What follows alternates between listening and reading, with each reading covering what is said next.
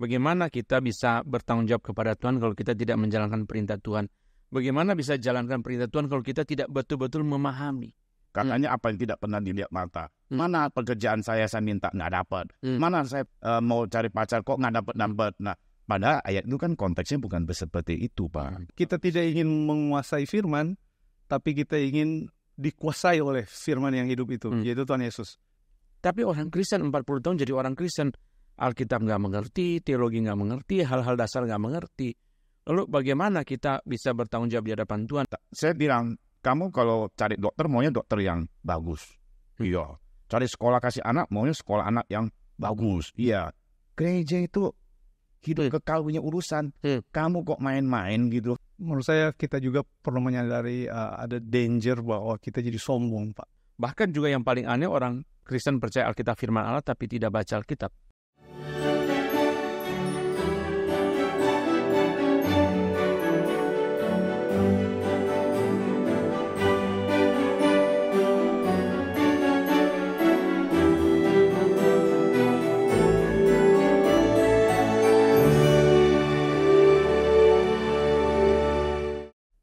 Bertemu kembali dengan saya Pendeta Anton di dalam Truth and Love Podcast yang diselenggarakan oleh Gary Kebunjeruk.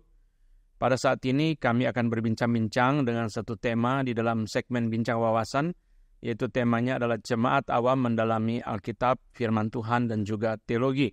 Bersama saya Pak Glenn dan juga Pak Awi. Nah, saudara-saudara, teologi adalah sesuatu yang kedengarannya sangat seram, tetapi sebenarnya artinya sangat sederhana. Theos itu artinya Tuhan dan logos itu artinya ilmu.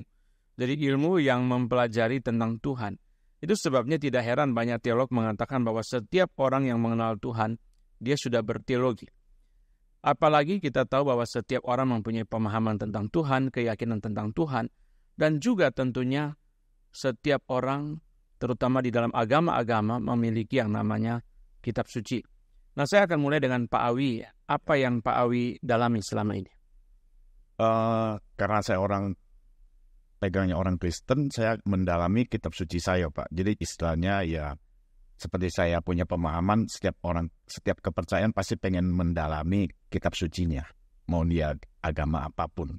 Nah, saya ter- tergerak untuk mendalami kitab suci karena saya merasa waktu itu di eh, di dunia saya saya lihat waktu saya masih belum di reform saya lihat eh, pergerakan gereja-gereja itu ya bahkan saya dis- dianggap sebagai orang yang G- GKK ya Pak ya. Gereja keliling-keliling katanya begitu. Jadi ganti-ganti gereja begitu. Dan saya lihat ya memang eh, pemahaman yang disampaikan di gereja-gereja yang di luar itu ya teologinya nggak nggak nggak enak gitu loh. Maksudnya ya kita nggak bukan yang ngejelekin ya pokoknya nggak punya dasar yang kuat gitu pak. Jadi saya pengennya mendapatkan pemahaman yang lebih se- lebih sejati lah gitu dari kitab suci. Itu sih pak awal mulanya.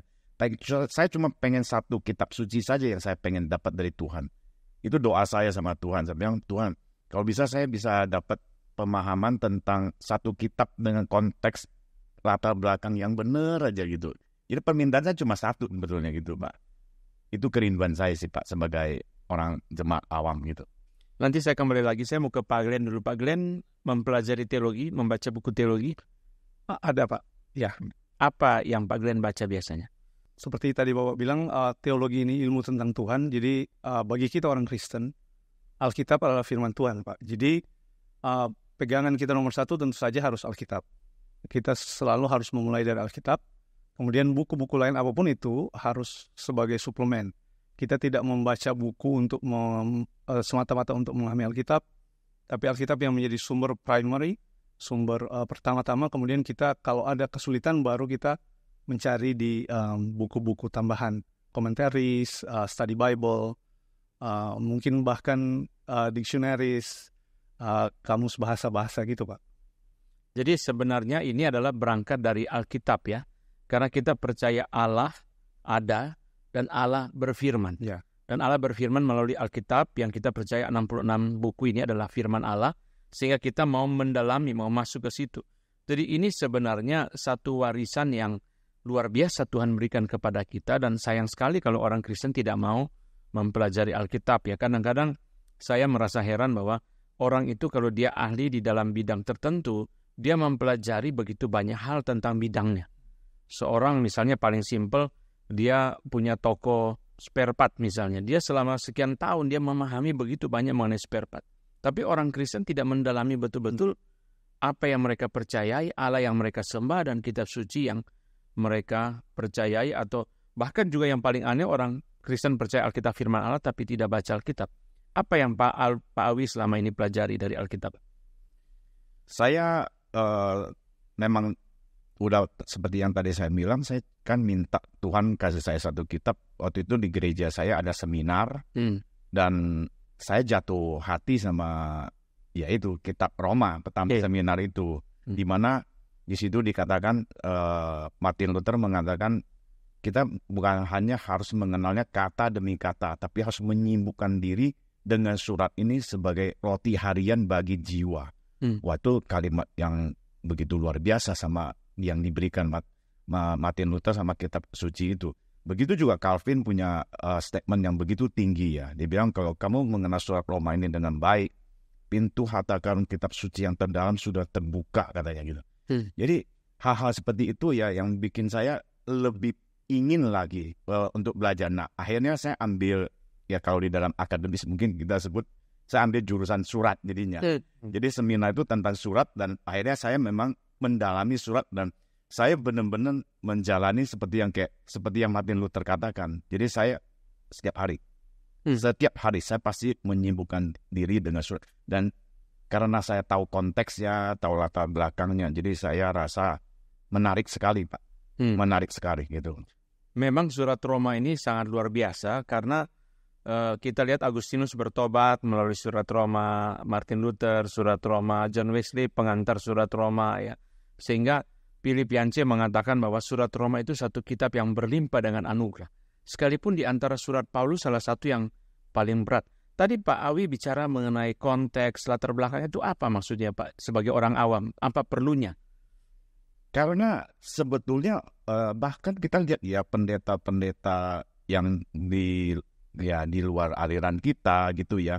Bahkan itu uh, mereka suka comotnya nggak berdasarkan konteks sama latar belakang. Makanya kadang-kadang kita melihat mereka teologinya bisa berubah-berubah. Saya pernah di dulu di dalam gereja mereka, saya dengar gitu, katanya semua orang akan bisa masuk surga. Ayat mana yang dia ambil? Saya bingung.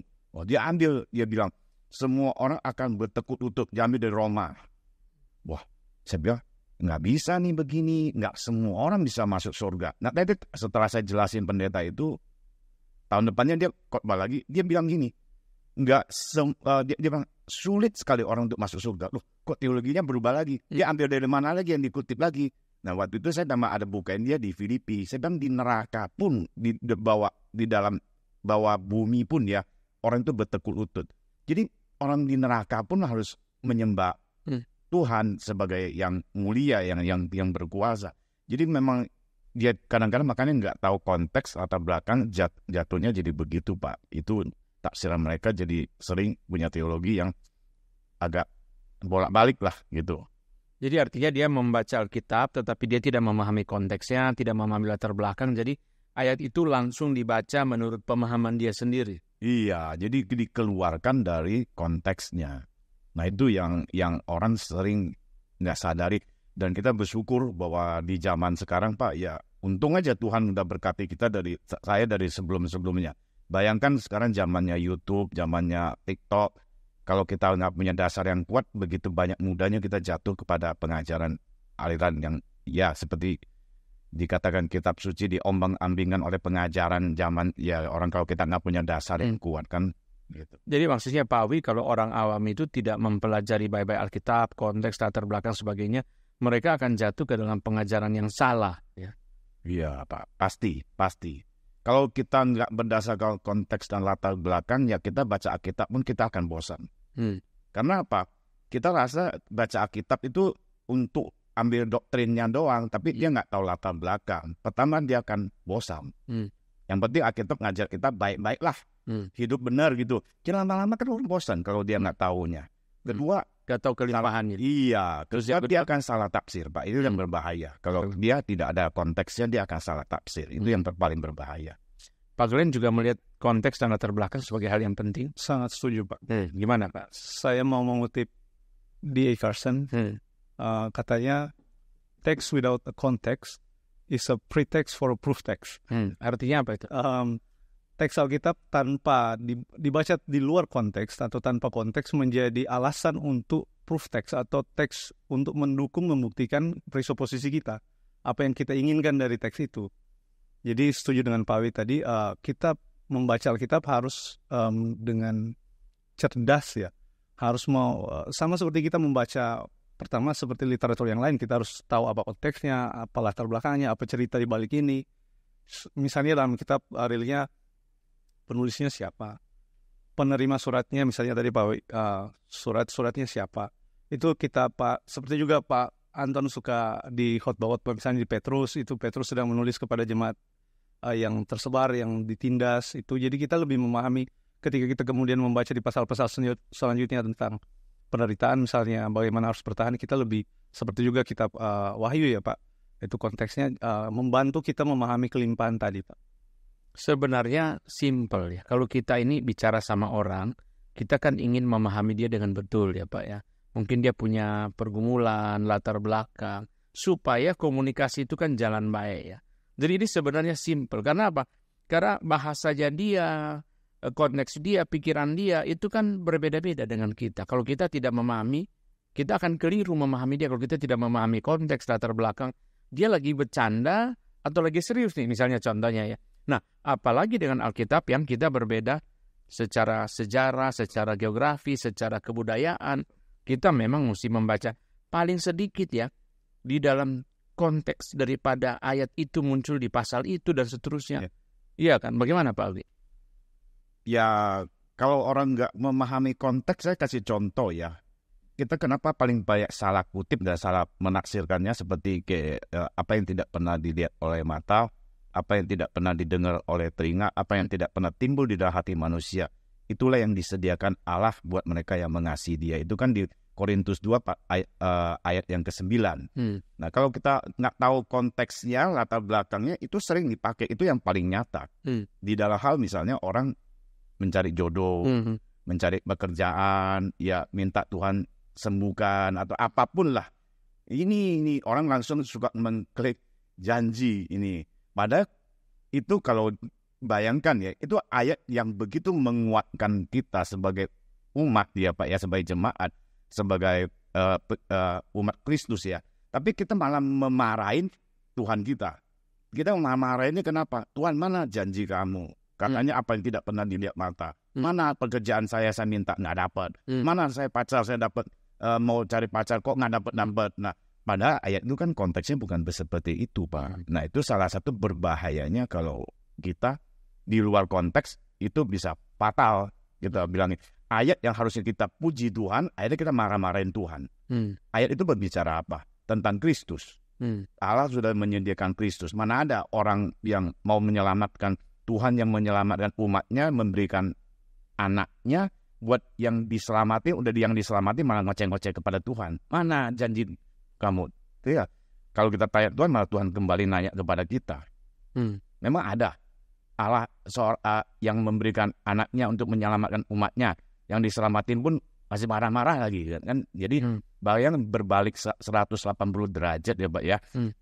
Ayat yang begitu menyejukkan, begitu pengharapan, begitu menyegarkan di- menjadi ayat yang kita pakai untuk kekecewaan, putus asa Pak. Dan kita bisa lihat bahayanya sampai besar begitu besarnya gitu loh. Jadi sebenarnya kalau kita memahami konteksnya, latar belakangnya ya kita menemukan ada rahasia yang luar biasa sebenarnya. Sehingga tadi ya Pak Awi bilang kita memuji Tuhan karena ini sesuatu yang dibukakan kepada kita kan. Pak Glenn membaca konteks latar belakang bagaimana biasa prosesnya? Um, saya ingin sama seperti Pak Anton bilang tadi kita mulai dari paragraf kemudian ke uh, perikop mungkin yang lebih panjang kemudian kitab itu tapi juga ada konteks keseluruhan Alkitab Pak Hmm. bahwa Bible itu ada satu storyline Hmm. jangan kita potong satu uh, tadi apalagi satu ayat ya sangat fatal ya itu satu ayat dari rangkaian cerita yang begitu panjang Hmm. dan des, pusat dari Alkitab itu adalah Tuhan Yesus. Jadi begitu banyak janji dan kelimpahan itu dan uh, itu dalam konteks umat. Hmm. Belum tentu di, di, dijanjikan buat pribadi lepas pribadi. Jadi um, ada konteks uh, covenant perjanjian Tuhan dengan manusia, ada konteks um, kemuliaan Tuhan uh, yang misalnya dinyatakan lewat penghakiman. Hmm. Uh, hal-hal seperti ini yang uh, membantu kita memahami konteks lebih lebih besar itu uh, sehingga kita tahu posisi buku ini dalam storyline ini kira-kira ada di uh, yang titik mana. Hmm. Itu membantu kita sangat membantu kita menurut saya Pak memahami dan mengingat selalu bahwa Injil bahwa Yesus itu adalah the whole of the Bible is about Jesus. Hmm. Seperti Tuhan Yesus bilang um, waktu kepada murid-murid di Emmaus itu Pak Hmm. Jadi uh, dengan pemahaman itu menurut saya akan mencegah kita dari jatuh ke banyak error yang tadi, Pak. Hmm. Saya gini, Pak. Saya pikir ya tambahan ini ya dalam hal pertama kali kalau kita mau tahu itu kita harus tahu gaya jandranya, Pak. Hmm. Gaya sastra, gaya tulisannya. Jadi pertama kali kita mau tahu uh, apa yang mau kita baca, misalnya surat, ya kita mesti tahu ga, ga, uh, gaya sastranya, jandranya apa. Hmm. Nah, kita kita disampaikan kepada kita dengan gaya jandra yang bermacam-macam. Hmm. Misalnya di, di perjanjian lama ada hukum, ada narasi, ada masmur, ada amsal, hmm. ada kitab para nabi. Jadi cara membacanya juga beda-beda. Hmm. Nah itu kadang-kadang pertama kali jadi kalau kita mau membaca Alkitab secara uh, benar gitu ya hmm. berdasarkan konteks kita mesti tahu dulu pak. Hmm. Ya kalau simpelnya kayak gini puisi puisi kalau zaman novel jangan dibacanya kan pasti beda. Pak. Betul. Iya, nah itu jadi pertama kali begitu kita mau baca uh, kitab suci kita mesti tahu jandranya dulu. Itu pokok yang paling penting, Pak. Hmm. Menurut saya begitu sih, Pak. Hmm. Jadi Bapak Ibu saya ini mau ingatkan sekali lagi, saya sedang berbincang-bincang dengan Pak Glenn dan Pak Awi ini orang awam. Jadi mereka bukan lulusan sekolah teologi, mereka bukan orang yang adalah hamba Tuhan full time, bukan mereka orang-orang profesional yang mempunyai pekerjaan. Tetapi uh, kita melihat dari perbincangan pendek di depan ini, mereka mempelajari sesuatu. Nah ini saya harap menjadi satu inspirasi bagi Bapak Ibu untuk kita juga mendalami firman Tuhan dengan benar dan bertanggung jawab mempelajari dengan baik. Nah, dari tadi saya merasa bahwa kita sama-sama menuju kepada satu titik bahwa kita ingin bertanggung jawab, ingin benar di dalam mempelajari firman Tuhan bukan mengikuti apa yang kita mau. Jadi kita sebagai orang Kristen ini mesti bertanggung jawab. Sebenarnya ya, prinsip tanggung jawab ini kan hal yang common. Sebagai suami harus bertanggung jawab, sebagai mahasiswa harus bertanggung jawab, sebagai siswa harus bertanggung jawab, guru, dosen, dan seterusnya. Jadi kita sebagai orang Kristen ini, kita mesti bertanggung jawab dalam iman kita. Kita mesti mengerti apa yang kita percayai. Kita mesti mengerti apa yang kita baca. Jangan kita sembarang mengerti. Tadi Pak Glenn bicara mengenai storyline of the Bible ya. Pak Tong suka, pendeta Stephen Tong suka pakai istilah prinsip total seluruh Alkitab. Yang mana kita jangan sampai memahami itu lepas daripada keseluruhan itu. Nah ini tujuannya apa? Dari perbincangan tadi adalah supaya kita bertanggung jawab dan benar di hadapan Tuhan. Nah ini panggilan pertama. Supaya di dalam penghakiman terakhir, kita itu mempertanggungjawabkan apa yang kita percayai apa yang kita yakini. Nah ini, Bapak Ibu sekalian, saya mendorong kita untuk belajar pemahaman yang benar. Kenapa? Karena sebagai orang Kristen kita harus bertanggung jawab. Tidak berdasarkan perasaan kita, tidak berdasarkan fenomena-fenomena, dan seterusnya. Nah, saya mau ke Pak Awi lagi. Pak Awi tadi Bapak sudah bicara mengenai genre, tadi Pak Glenn juga bicara mengenai konteks dan seterusnya. Apalagi Pak yang Bapak studi di dalam surat-surat khususnya misalnya untuk mendalami firman Tuhan? karena saya percaya ya kalau uh, kalau kita belajar itu kalau kita mau mendalam itu mesti runcing katanya begitu. Hmm. Jadi kayak dokter itu misalnya spesialis ya gitu ya. Hmm. Jadi kalau kita sakit mata kalau kita ke dokter yang uh, penyakit dalam kan kurang cocok lah ya Pak gitu hmm. ya. Jadi saya ya ya memang sih udah cukup berumur juga sebetulnya baru baru mendalaminya agak telat dikit sih. Makanya saya himbau ke anak muda yang hmm. lebih muda itu harus dari muda sih untuk untuk buka hatinya lah untuk mendalami firman Tuhan. Jadi saya fokusnya memang uh, sejauh ini surat Pak. Tapi hmm. surat itu pun cuma Rasul Paulus punya surat yang 13 itu. Hmm. Jadi saya benar-benar fokus kepada uh, suratnya Rasul Paulus dalam hal ini. Jadi belum ke Injil udah belum. mendalami Injil sih belum Pak. Kayaknya waktunya itu loh kadang-kadang Hmm. gitu. Jadi yang agak sulit gitu buat ininya baginya gitu. Apa yang menarik Pak Awi dari surat-surat Paulus? Yang menarik ya, saya kalau orang cuma baca Alkitab, saya tahu orang cuma mau lihat isi surat yang tengah-tengahnya aja. Jadi itu makanya kurang menarik. Kalau kenapa kurang eh, kenapa buat saya menarik ya? Karena saya tahu eh, tujuan suratnya apa, keadaan di sananya seperti apa. Jadi kadang-kadang saya saya berpikir ya jarang orang kalau mau menekankan di pembukaan surat orang nggak bakal orang bakal skip itu baca pembukaan ataupun salam penutup orang nggak mau padahal hal-hal itulah yang bisa menjelaskan latar belakang surat sih. Di latar belakang surat yang biasa kita anggap ah kita lewatin aja lah gitulah. Padahal di situ kita bisa lihat ya, oh di situ ada semuanya saling berkaitan dari pembukaan surat. Jadi kalau kita lihat ada salam pembuka, ada isi surat, ada penutup, ada salam penutup, itu semuanya saling berkaitan. Jadi itu membuat saya menarik. Kenapa saya bisa 13 surat Bapak tiap hari katanya me- menyibukkan diri. Betul.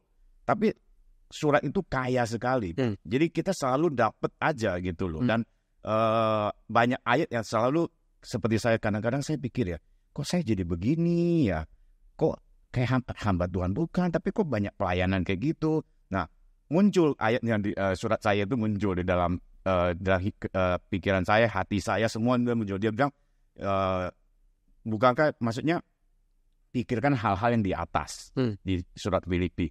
Terus saya bilang cari dan pikirkan perkara yang di atas. Terus ya, wah itu saya ditegur juga ya benar juga utamakan pekerjaan di atas. Ya udahlah, walaupun memang saya memang orang yang masih eh, ya memang kayak seperti Bapak bilang kita bukan hamba Tuhan, tapi ya surat itu selalu menghidupkan kita dan saya sangat tertarik dan eh, bahkan kalau Bapak yang saya dapat kalimat-kalimat yang sangat menguatkan seperti Martin Luther bisa berkata bahwa surat Galatia itu adalah surat Galatia itu adalah istri saya.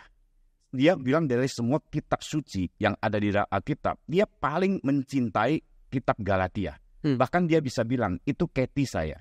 Hmm, Katie istri. Karena istrinya Catherine, jadi dia bilang Katie. Jadi saya menikah dengan dia. Jadi Martin Luther pun punya hati ya, yang punya sangat cinta. Kenapa dia bisa ngomong begitu? Nah, padahal dia bertobatnya dari surat kita tahu ya Roma kan. Kenapa dia bisa bilang itu Katie saya sampai dia begitu mencintai surat Galatia itu? Padahal kita tahu ya Pak ya, surat Galatia itu nggak semua orang suka karena surat Galatia itu panas Pak. Hmm. Ah, ah, jadi penuh dengan Bukan. iya emosional gitu tuh. Jadi kok, kok kenapa ya Martin Luther bisa bilang itu Katie saya saya menikah dengan dia dan kitab suci yang terbaik? Itu ada alasannya. Saya percaya ya alasannya apa? Konteks. Hmm. Karena di zaman dia itu zaman Martin Luther itu ada Injil Plus Hmm. yang dia yang dilakukan di zamannya ya Hmm, oleh gereja. Iya, gereja waktu itu. Jadi surat ini sangat cocok untuk mengatasi masalah di zamannya dia itu. Jadi memang konteks, Pak. Indah sekali, Sin. Jadi Makanya surat Galatia mengkritik Yahudi plus, Pak. Ya, Injil plus. Orang Yahudi membawa tambahan kepada Injil. Iya, makanya kita jadi mengerti. Ya. Karena apa? Kita tahu konteksnya. Jadi dari situ kita mengerti kelimpahannya yang luar biasa. Kan ini firman Allah ya. Pak Glenn ada kitab yang menarik buat Pak Glenn? Um, mungkin Yohanes Pak, Oh, Oh, Injil Yohanes. silakan. Dari pembukanya itu udah begitu mengagetkan kita ya Pak. Hmm. Pada mulanya adalah logos. Hmm. Ini langsung paralel dengan uh, kejadian satu-satu Hmm. dan seterusnya itu kristologinya begitu tinggi Hmm. Um, dan begitu banyak. uh, tapi bukan berarti uh, mulus ya kita memahami, memahami itu. Ada ada hal-hal yang sulit kita pahami. Jadi Hmm. perlu kita menggali dengan lebih hati-hati. Hmm. Uh, misalnya uh, jelas uh, di Injil Yohanes Tuhan Yesus uh, setara dengan Allah, tapi pada saat yang bersamaan juga dia bilang um, Bapa lebih besar dari aku. Hmm. Ini artinya apa? Um, uh, anak tidak dapat berbuat apa-apa di luar Bapa gitu. Uh, nah hal-hal ini khususnya karena di tengah masyarakat kita saya rasa um, belakangan ini semakin banyak um, penyimpangan terkait uh, ketuhanan Yesus, Hmm. uh, kealahan Yesus ya, keilahian. Um, jadi membuat saya um, makin tertarik dan menekuni um, Injil Yohanes ini, Pak. Hmm. Tapi untuk menambahkan tadi juga Pak Awi, um, saya rasa kita juga per, perjanjian baru tidak berdiri begitu saja, Pak. Hmm. Jadi kita harus juga memahami um, sorry tadi uh, logos permulanya logos permulanya uh, alam menciptakan. Begitu banyak paralel dan begitu banyak juga di surat-surat Paulus, surat-surat Yohanes sampai Wahyu dipenuhi dengan kutipan dari perjanjian lama. Jadi Hmm. uh, sangat kaya kalau kita memahami satu storyline tadi atau total uh, teologi tadi, kita bisa memahami kelimpahan yang begitu benar-benar mengagetkan, Pak. Hmm. Kaya sekali, limpah sekali. Jadi Pak Gret, eh, tadi kan Bapak cerita mengenai paradoks yang di Injil Yohanes. Hmm. Jadi ada kesulitan, kesulitan dalam teologi atau studi Alkitab, Bapak tidak menyerah, Tidak menyerah, Pak. Justru merangsang kita ingin belajar lagi. belajar lagi. Nggak tambah stres, Pak. Sudah stres hidup, stres kerja, stres di rumah tangga. Kok masuk ke teologi cari yang Kan stres-stres lagi? tadi Bapak bilang, kita ingin bertanggung jawab di hadapan Hmm. Tuhan ya, memiliki pengertian yang benar. Hmm. Karena menurut saya teologi itu sangat praktis, Pak. Di semua praktek hidup kita mengalir dari teologi kita. Tadi Hmm. Pak Awe juga ada mention, um, mau orang Kristen atau bukan orang Kristen, kita atau Pak Anto tadi mention, uh, kita memiliki pemahaman tentang ketuhanan itu, diakui atau tidak diakui ya. Misalnya orang ateis, dia berperilaku dengan pemahaman teologinya dalam kutip Hmm. bahwa tidak ada Tuhan, tidak dunia ini hanya uh, materi. Hmm. Karena itu dia gaya hidupnya mencerminkan teologinya itu. Hmm. Nah, bagi kita orang Kristen berbeda.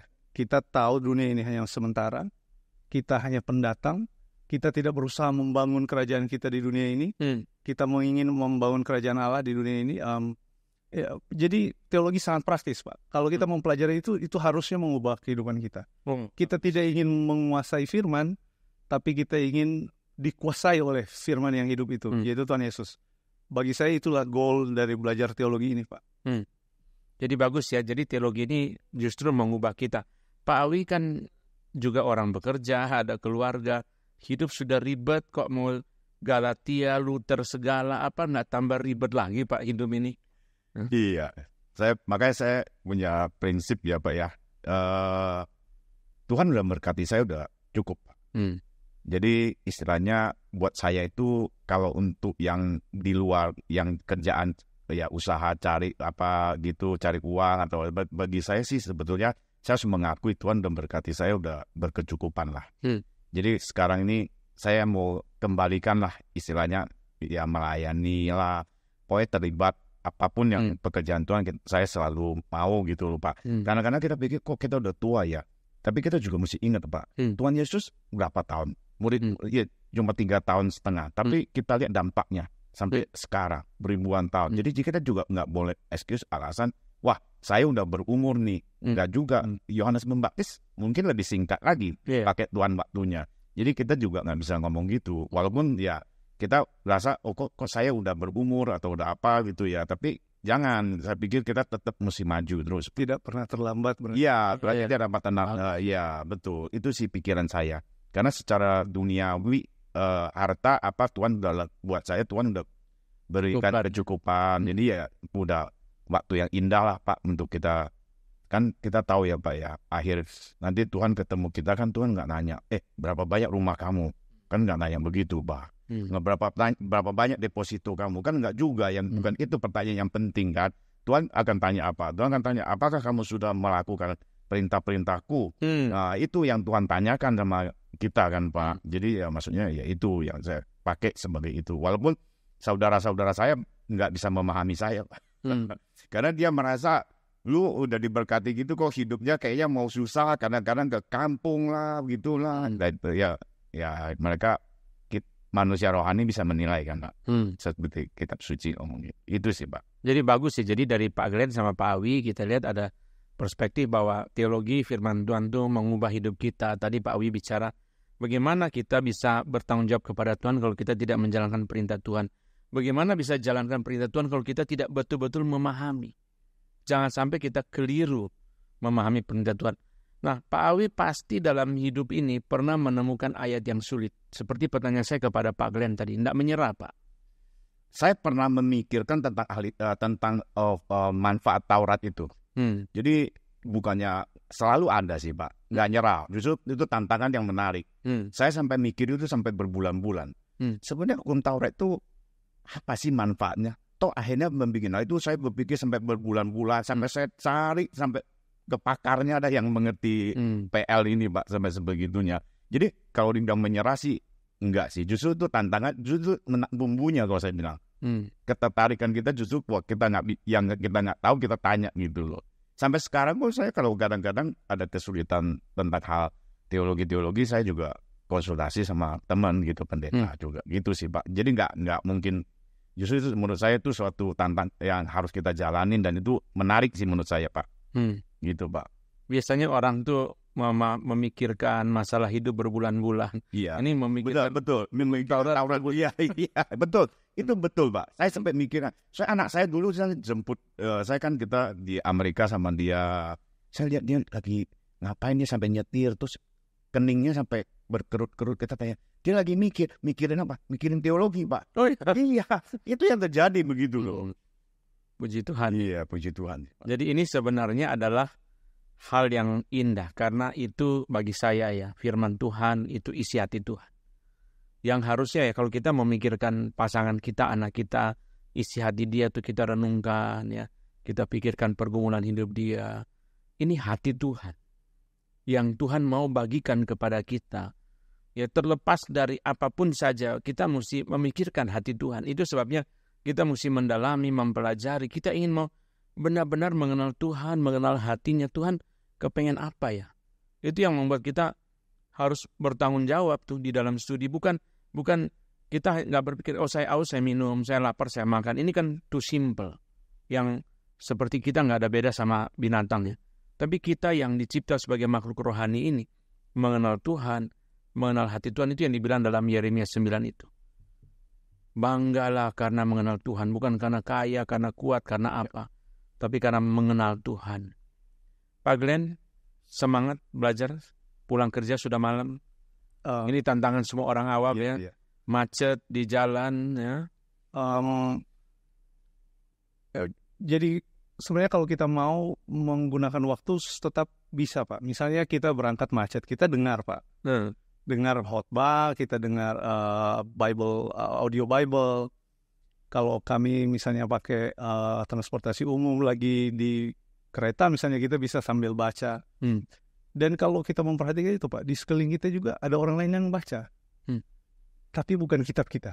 Hmm. Mereka tekun membaca kita mereka pak Hmm. dalam bahasa yang kita nggak ngerti, Hmm.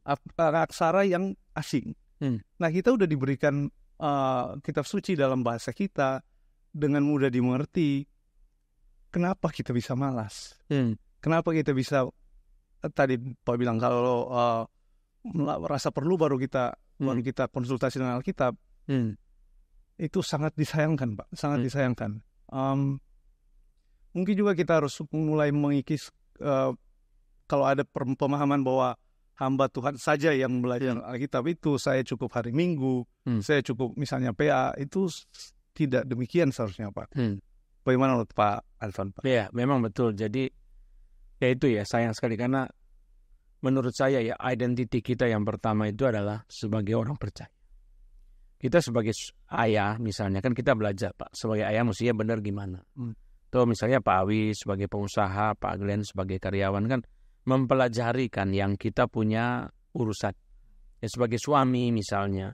Tapi kenapa identiti kita first identiti kita sebagai anak Tuhan? Hmm. Kita tidak mendalami betul apa yang kita punya. Saya suka sebut itu sebagai necessary knowledge, pengetahuan yang harusnya ada. Kalau orang kita tanya, Bapak kerja apa? Saya sudah 40 tahun di dunia kontraktor konstruksi. Dia sangat mengerti besi, kayu, semen. Wah, kasarnya dia dibangunin tengah malam pun dia bisa jawab harga besi. Tapi orang Kristen 40 tahun jadi orang Kristen. Alkitab nggak mengerti, teologi nggak mengerti, hal-hal dasar nggak mengerti.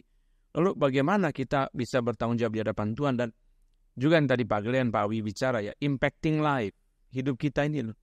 Iya kan, hidup kita gimana kita bisa jalani tanpa di drive oleh identitas kita yang pertama sebagai anak Tuhan itu. Emang itu sih Pak. Hmm. Kita itu memang salahnya di situ. Kalau kita umur misalnya anak umur 10 tahun kita tahu dia mau masuk kelas berapa. Tapi kalau kita udah jadi orang Kristen udah 10 tahun ya, itu masih minumnya susu juga dia oke-oke aja. Hmm. Itu jadi kayaknya nggak ada satu tingkatan yang untuk rohani itu. Padahal kalau kalau kita mau ngomong kalau eh, berdasarkan umur berdasarkan kita jadi ke gereja udah berapa 10 tahun tapi masih dasar-dasar aja kita masih nggak paham. Hmm. Nah itu yang terjadi pak. Padahal kalau kita berpikir juga kadang-kadang orang juga diinjilin, kasih gereja yang benar, mereka juga kayaknya ogah-ogahan. Karena apa? Saya bilang, kamu kalau cari dokter maunya dokter yang bagus. Hmm. Iya.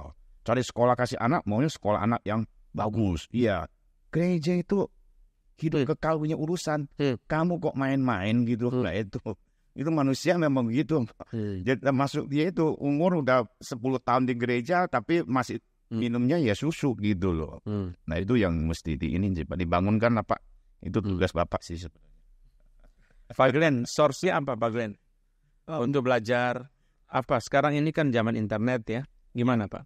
Um, saya ingin menambahkan sedikit Pak. Ya, silakan. Saya uh, ke source.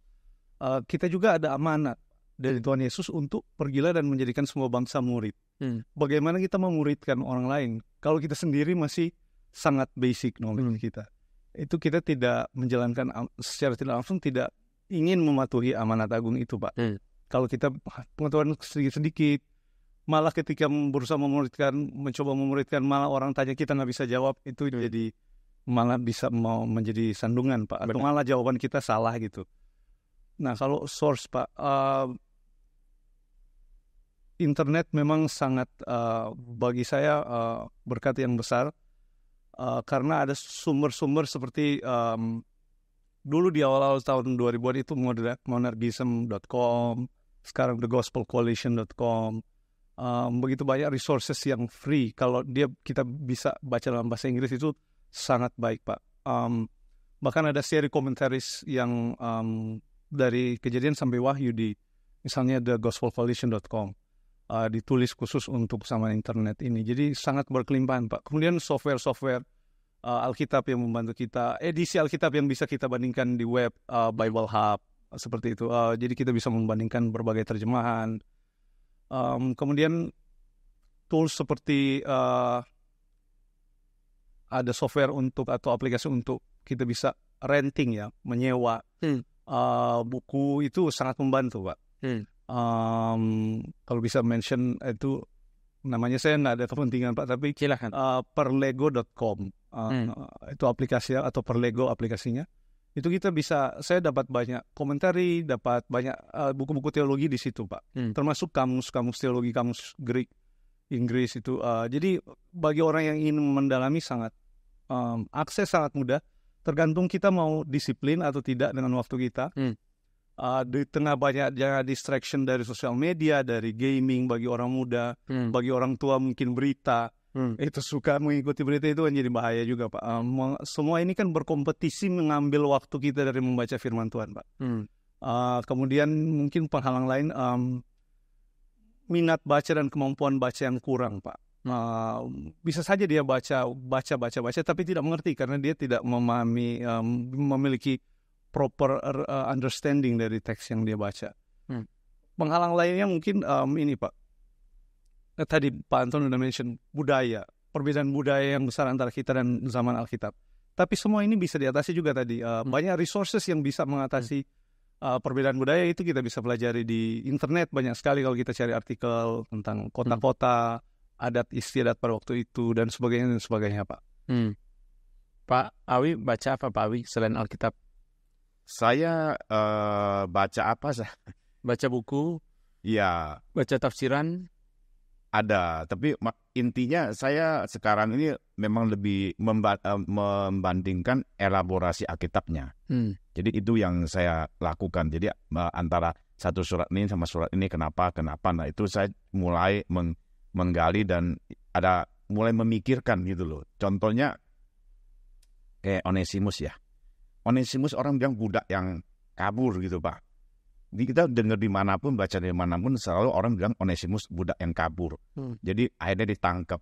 Nah itu saya mikirin sebenarnya Onesimus itu ditang eh, kena tangkep di luar itu karena apa gitu. Jadi kayak hal-hal seperti itu saya pikirin sekarang Hmm. gitu Pak.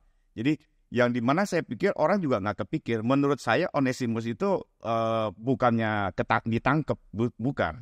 Jadi kayak hal-hal gitu saya mendalami. Jadi me- men- menggali, memikirkan. Jadi menarik sih. Coba kita cari kenapanya, why-nya itu loh, Pak. Hmm. Maksudnya dalam hal itu ya saya mendalami hal itu dan saya membandingkan satu surat dengan surat yang lainnya gitu loh, surat tapi sama-sama suratnya Paulus gitu, Pak. Jadi teologinya kan sama seperti itu. Pak Awi baca bahasa lain selain bahasa Indonesia? Saya eh, waktu itu melakukan hal-hal sebegitu ya, baca komentari apa Bahasa Inggris, tapi bahasa ya tapi udah nggak semua sih pak. Saya nggak eh, udah nggak kuat pak. Nih belakangnya eh, kalau kita duduk nih ya pak ya saya udah la- lalui semuanya itu pak. Bahasa Indonesia. Ba- baca baca baca udah lama gitu ya pak ya. Kelap belakangnya sakit. Terus nggak lama lagi tiap hari baca matanya yang kena kena pak. Karena Jadi, usia. Iya, karena usia. Terus nggak lama lagi yang terakhir ini Pak ya, leher. Jadi kita baca kan terlalu sering ya. Sesa, saya seneng ya satu kata ya. Sesuatu yang ekstrim itu memang mesti diperhatiin deh. Hmm. Jadi kalau kita baca juga tiap hari tunduk ke tunduk gitu ya, ini leher juga nggak nggak bagus sih Pak. Jadi cara bacanya gimana sekarang? Taruh bantal di atas. Hmm. Jadi kita taruh bantal di atas eh, kaki kita. Jadi kita bacanya Agak tegak. agak tegak. Nah, jadi se- se- segala sesuatu, tapi ya itulah tubuh kan memang lemah, Pak. Hmm. Jadi istilahnya ya kita tahulah semuanya itu. Jadi artinya ya karena usia sih, Pak. Jadi sebenarnya ya Alkitab ini sekarang saya lihat Pak ya zaman internet ini Alkitab sendiri sudah banyak versi kita bisa baca ya.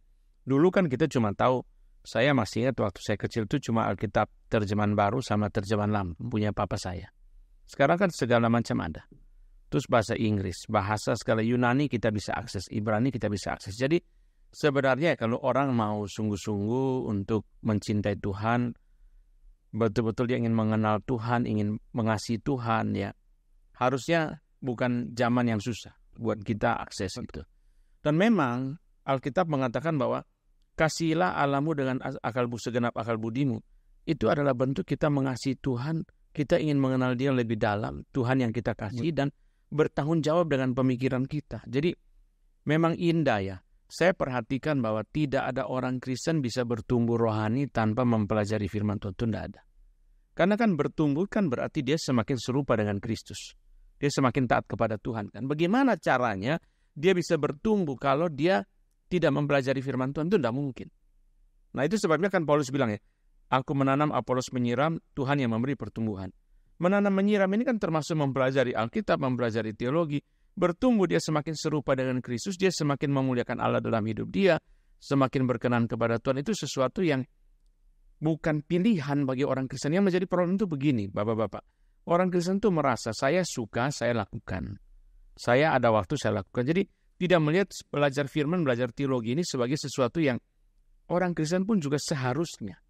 Nah itu sebabnya kenapa saya berdiskusi dengan Pak Awi sama Pak Glenn sebagai orang-orang awam. Kalau saya berbicara mereka bilang, oh ya Bapak kan hidupnya di situ. Tapi kalau saya berbicara dengan orang awam yang juga punya pekerjaan, punya aktiviti yang lain, ya jemaah di luar sana itu harusnya melihat bahwa iya ya ini satu panggilan, ini satu opportunity tadi kita diskusi juga ya, satu opportunity yang besar kita juga bertumbuh memperoleh kelimpahan tadi Pak Awi bicara banyak contoh juga eh, pemahaman Pak Glenn bicara banyak source jadi harusnya kita itu bukan mau apa enggak ya harusnya tanda kutip ya kita tergelincir masuk ke dalam kelimpahan ini. Masa sih sudah begitu limpah Tuhan sediakan bagi kita? Bahkan Alkitab saja pun sudah begitu limpah. Kalau kita eh, bertemu dengan para misionaris misalnya ya mereka itu ada yang di mana itu saya lupa. Selama 21 tahun misionaris itu berkhotbah hanya dengan dua tiga pasal dari kisah Rasul atau Timotius lalu berapa sepuluh pasal dari Injil Lukas itu pun dia dapatkan dengan tulis tangan. Buku ndak ada. Alkitab aja yang lengkap ndak ada. Bayangkan dengan itu aja dia berkhotbah dan mungkin suatu hari Jamal bilang sama dia maaf pak kami bosan bapak khotbahnya bola-balik itu. Misionaris bilang saya juga bosan Oh, dia cuma punya itu. Alkitab yang dia punya ya tulis tangan itu aja. Jadi kita orang Kristen ini nggak mengerti ya kelimpahan yang Tuhan beri kepada kita di rumah kita Alkitab dari paling kecil kayak semut sampai yang paling besar ada semua laptop setiap HP ada begitu banyak kelimpahan source ya dan macam-macam yang kita bisa baca renungan dan seterusnya sayang sekali sebenarnya eh, kalau kita tidak belajar. Pak Glenn, kapan akan berhenti belajar? Um, Tidak mau berhenti ya? Kalau sudah tutup mata Pak. Oh, sudah tutup. Atau sebaliknya pertanyaannya, mau masuk sekolah teologi? Tangguh sudah belajar sampai di sini sekalian nyemplung.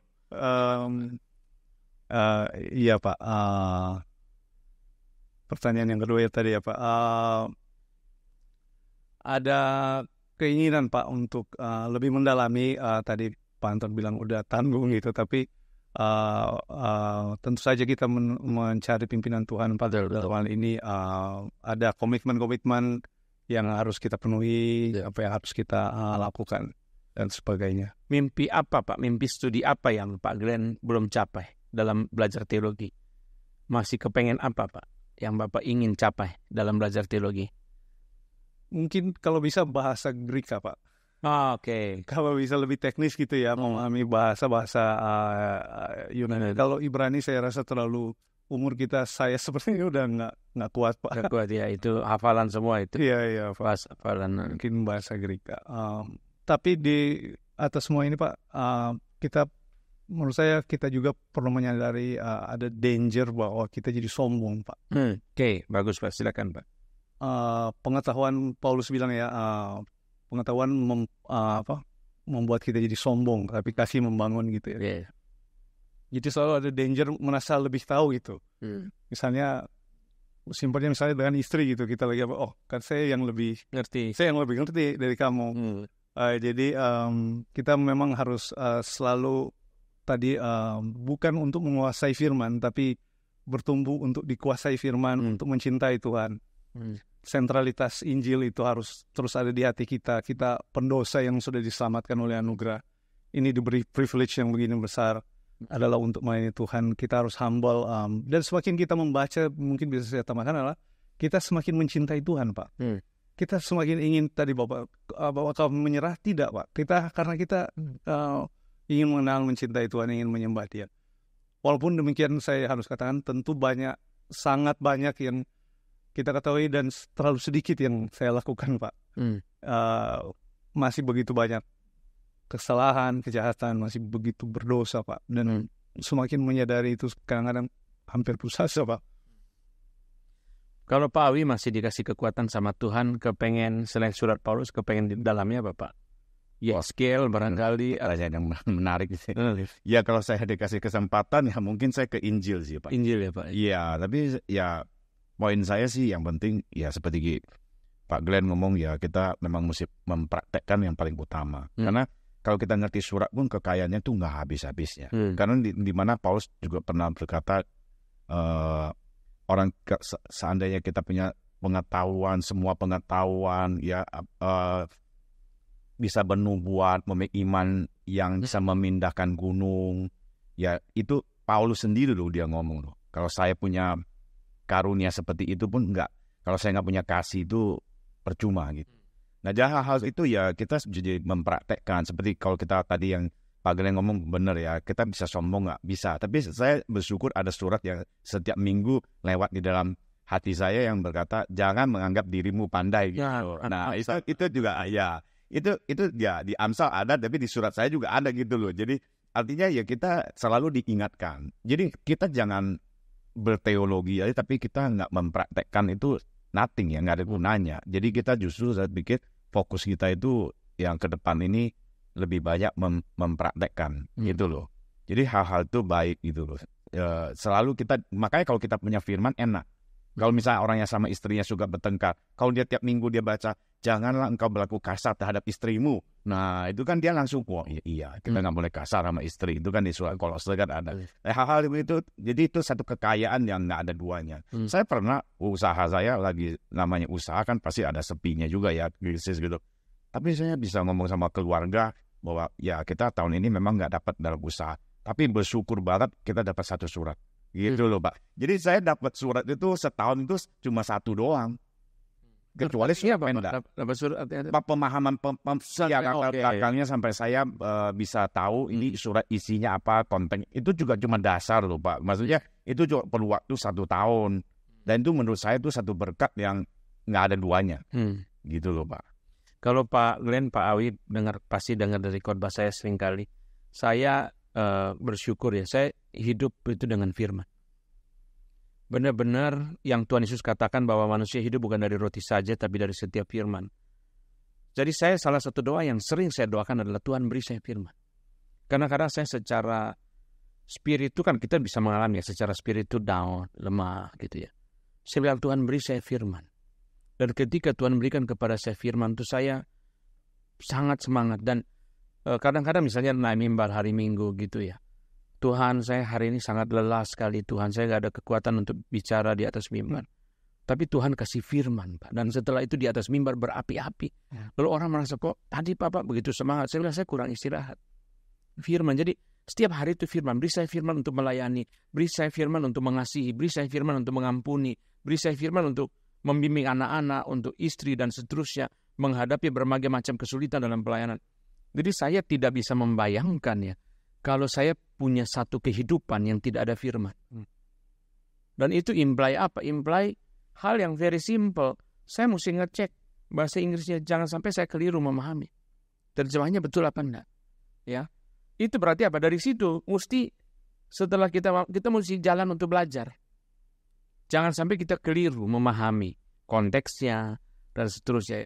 Jadi betul-betul ya yang Tuhan Yesus bilang manusia hidup bukan dari roti saja tapi dari firman. Itu yang saya hidupi selama ini. Untuk eh, menjalani hidup setiap hari ya. Kasarnya ya, kalau nggak ada firman tuh ya nggak bisa hidup. Tapi kita bersyukur Pak di gereja kita ini ya sering banyak ada seminar, ya ada speak lah. Jadi itu kita sangat nggak ada alasan kita tuh nggak bisa bertumbuh menurut saya. Itu. Kesempatan belajar Iya, Bapak suka mengadakan ada seminar selalu nggak lama ada seminar itu semua Bapak kan udah lakukan udah baik ya. Jadi itu kesempatan buat kita. Sebenarnya yang Bapak lakukan gitu kan kalau kita mau hitungnya, kalau orang orang awam pun dia kalau dia mau hitung untung ruginya, kita nggak bilang secara rohani aja. Orang tuh kalau kita mau mem- mem- mempelajari satu buku itu kan orang juga waktunya mau berapa lama. Tapi kalau kita dijelasin, Hmm. di, diseminarkan kan sebenarnya dari waktu aja kita Hmm. udah sangat diuntungkan. Jadi kalau misalnya ada hal-hal seperti seminar atau apa pun, kalau kita nggak ikut, menurut saya itu satu kerugian sih, Hmm. gitu loh. Pak Glenn, apa pesan Pak Glenn untuk teman-teman di luar sana? Membaca Alkitab seperti tadi kita sudah perbincangkan adalah sangat bermanfaat Pak. Hmm. Karena itu sediakanlah waktu, kita harus ada plan. Kita tidak akan um, uh, tiba-tiba saja mencintai Alkitab. Hmm. Kita harus ada usaha. Apa pun itu kita lakukan harus ada usaha, harus ada planning. Nah kita sediakan waktu. Tidak mungkin tidak pasti kita ada waktu. Sesibuk-sibuk sibuknya orang itu saya yakin dia ada waktu.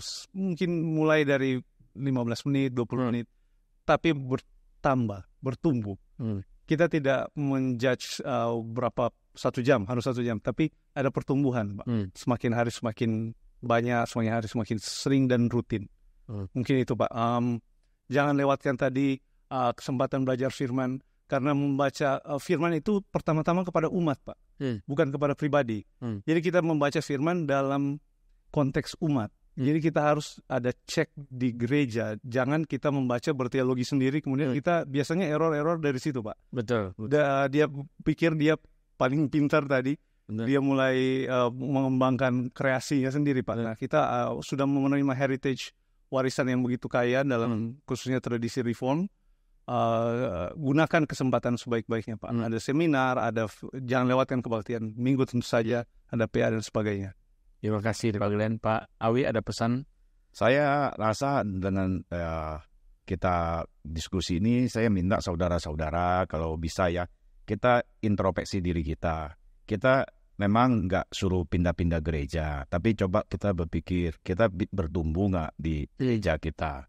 Pindah gere- pindah-pindah gereja itu boleh nggak? Sebetulnya boleh, tapi harus dikumpulkan dengan serius. Hmm. Ya, jadi artinya kalau saya minta saudara-saudara yang yang bukan di dalam ini ataupun di mana pun, kalau merasa termasuk di di kita juga nggak apa-apa sih. Coba cek eh, balance ya bahwa kita bisa bertumbuh nggak. Kalau kita nggak bisa bertumbuh, saya kira kita harus berdoa serius. Apakah kita mesti seperti tadi saya ngomong, kalau kita cari dokter dokter yang baik, itu Hmm. mesti jangan jangan main-main karena zaman sekarang orang gampang bikin YouTube, bikin TikTok kalau kita nggak punya teologi, punya firman Tuhan yang kuat, kita Hmm. gampang diombang-ambingkan seperti Kristen progresif lah, Hmm. baru waktu lalu, terus ada lagi macam-macam, ada Hmm. lagi pengajaran yang Kristus bukan Tuhan sepenuhnya. Jadi Hmm. itu kan hal-hal itu kan bikin berbahaya. Jadi kita harus berpikir hal yang terpenting dalam hidup kita itu apa. Hmm. Itu ya tolong eh, saudara-saudara bisa merenungkan kerohanian check and balance bahwa kita saya ini bertumbuh nggak di tempat sekarang ini Hmm. gitu loh. Jadi artinya gereja itu mesti betul-betul mengajak kita mendalami firman Tuhan dengan setia dan Iya. kita sendiri secara pribadi mendalami firman Tuhan kita memperoleh komunitas yang tadi Pak Glenn bilang yang mendorong kita untuk mempelajari firman yang bertanggung jawab dan seterusnya. Terima kasih Pak Glenn, Pak Awi untuk waktunya bersama-sama. Sampai berjumpa lagi di dalam seri podcast yang lain Truth and Love Tuhan memberkati.